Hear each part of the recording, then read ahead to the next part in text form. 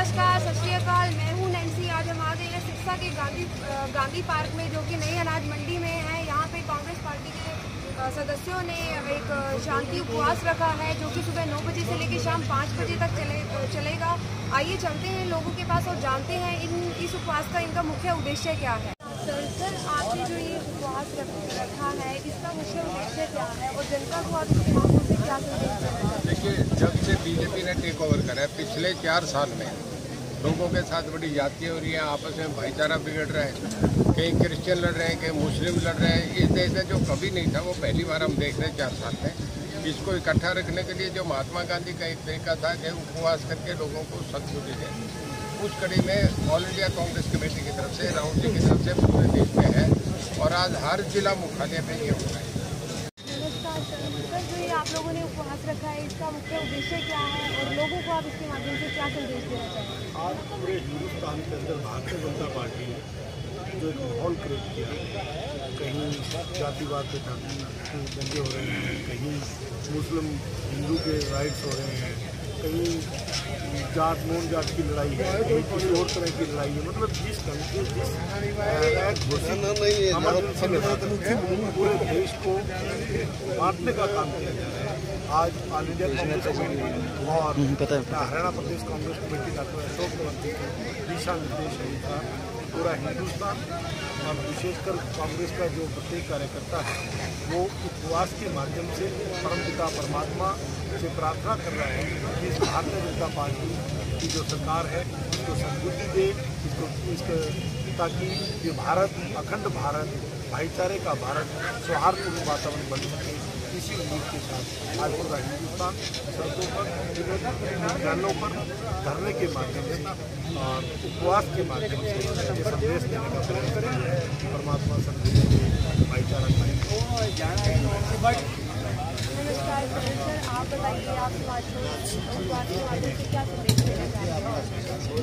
उपवास के माध्यम से राहुल गांधी जी जो चिंतित हैं।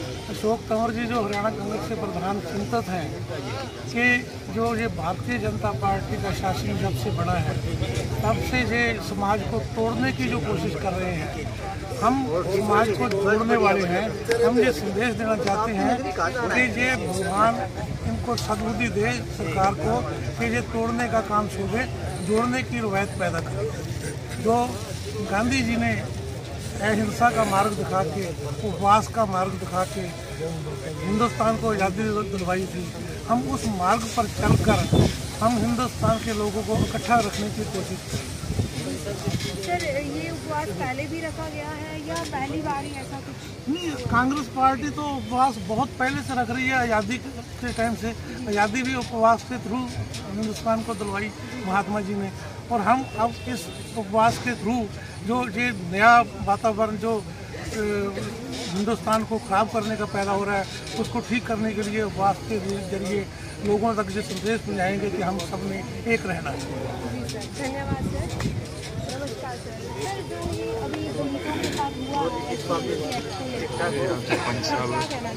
हैं भाजपा जो सरकार जब से बनी है ये दलितों पे अत्याचार वो चाहे वो किसान की बात हो चाहे व्यापारी की बात हो चाहे मजदूर की बात हो जब से बनी है तब से ये आंदोलन शुरू हो। हुए करने जल से।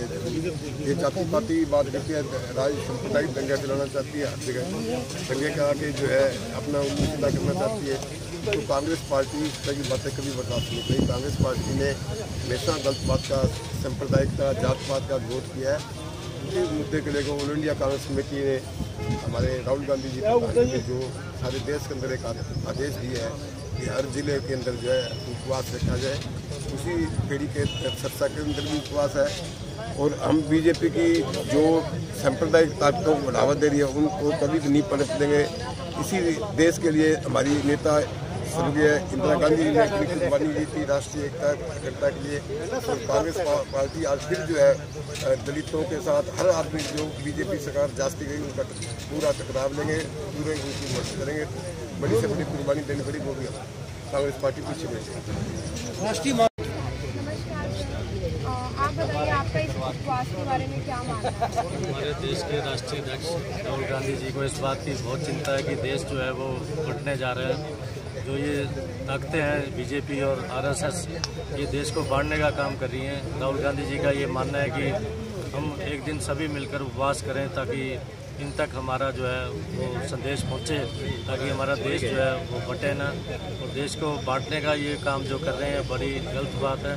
पीछे S C S C act में भी इन्होंने छेड़छाड़ की ये हर वर्ग को बांटने का काम कर रहे हैं। वैसे भी जब से बीजेपी की सरकार आई है, हर वर्ग दुखी है, चाहे वो किसान है, चाहे व्यापारी हो, और व्यापारी के ऊपर जो बोझ लादा गया, पहले नोटबंदी का, फिर उसके बाद जीएसटी का हर वर्ग इनसे परेशान है। जहाँ भी जाओ, वहाँ पे हाहाकार मची है। अब तो सिर्फ़ हमारी जो जनता है, वो वोट का इंतज़ार कर रही है। अभी किस दिन वोट पड़े और हम इसको बदलने का काम करें। आज इस उपवास की कड़ी में सरसा के अंदर अनाज मंडी गांधी पार्क में उपवास रखा गया। कांग्रेस के सभी कार्यकर्ता यहाँ सभी इकट्ठे हैं और सभी इस उपवास में शामिल हैं। नौ बजे उपवास शुरू हुआ था और पाँच बजे ये खत्म हो गया। सरकार इतनी संवेदनशील तो नहीं है कि लोगों की दिक्कतों को सुने। अब आप देखो, जब से बीजेपी आई है, उससे आने के बाद पेट्रोल और डीजल का क्या भाव हो गया? किसान को अब फ़सल बीजने का टाइम है नरमे की फ़सल बीजनी है, गेहूँ की बीजनी कटाई करनी है तो उसमें डीजल बड़ा ज़्यादा लगता है। तो सरकार किसानों की तरफ़ और गरीबों की तरफ़ तो बिल्कुल देख नहीं रही। जबकि जब आ दो तरीक को वो गरीबों ने अपना मुजाहरे वगैरह किए उसमें आप अपने जो गुंडे तत्व थे उनमें बाढ़ कर उनको अ, लोगों को मतलब दंगे करवाए गलत करवाया। ऐसी बीजेपी सरकार की हाँ, आज जो उपवास रखा गया है कांग्रेस पार्टी राहुल गांधी जो राष्ट्रीय अध्यक्ष हैं इनके कहने पे आज ये उपवास रखा गया है। और मेन मकसद इसका यही था कि जो ये एस टी एस सी और एस टी जो है इनके खिलाफ जो इन्होंने जो ये लागू किया, ये सत्तर साल से मतलब है ना, ये कानून बना हुआ और उस कानून को तोड़ने के पक्ष में ये सरकार चल रही है। और असल मकसद इनका तोड़ने का क्या है? लड़ाने झगड़ाने का है।